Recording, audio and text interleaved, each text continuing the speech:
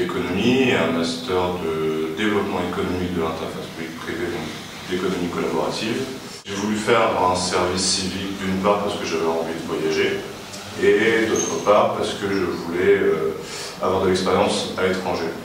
On est une association travaillant avec des collectivités locales, sollicitant le secteur privé pour pouvoir réussir à mener nos actions. Voilà, ça me faisait de l'expérience dans mon parcours professionnel, tout en ayant une connaissance, voilà, sortir un petit peu des, des carcans français et de voir comment les collaborations, à ce point de vue-là, économiques, pouvaient se faire à l'étranger.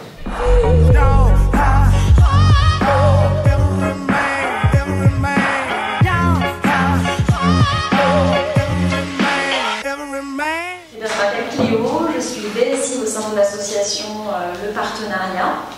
Donc c'est une association française qui a créé son antenne de droit marocain qui s'appelle Solidarité Partenariat France-Maroc.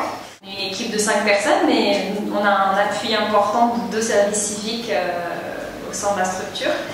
Donc on a euh, Robin qui est vraiment le service civique du partenariat, qui est envoyé par notre structure depuis Lille euh, pour nous appuyer sur la recherche du financement, le montage de dossiers, la communication. Donc il intervient surtout en appui à mon volet de coordination et de pilotage. Et puis euh, Lisa est envoyée dans le cadre d'une coopération avec la région Nouvelle-Aquitaine et la région où on se trouve qui est Marrakech-Safi. Je passe une partie importante, euh, on va dire que je suis à 60% dans le bureau. Euh, à côté de ça, donc ça c'est mes gros axes, mais aussi d'autres missions, notamment là on est sur une phase de diagnostic, parce qu'il y a un accès à l'eau, l'électricité, des, euh, des boxes sanitaires qui fonctionnent.